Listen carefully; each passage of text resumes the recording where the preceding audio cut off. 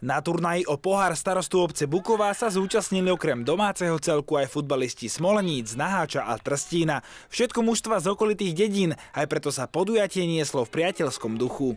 Ľudia sa poznajú, hráči sa poznajú, aj varí sa guláš, aj klobásky, pivečko, kofola, deti, máme tu krásne risko, však areál je nádherný, takže paráda. Spokojní boli tiež samotní aktéry. Dôležitejšie ako vyhrať bolo zabaviť sa.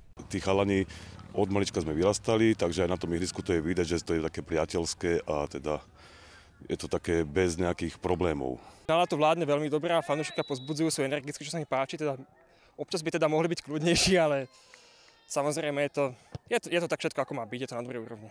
18.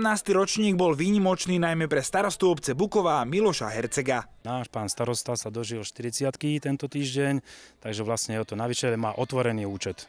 Takže môžeme popíjať zadarmo. Medzi najstarších účastníkov sa zaradil Marek Medvecký. Dlhoročný brankár domácej Bukovej už premýšľa nad svojím nástupcom. Ide o tú chcenie, že teda keď to človeka baví, takže vôbec ti nezabráňa žiadne roky.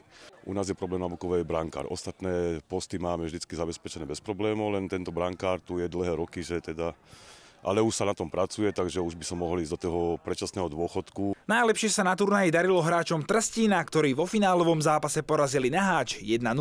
Tretie miesto získala Buková. Patrik Mita, Spartak TV.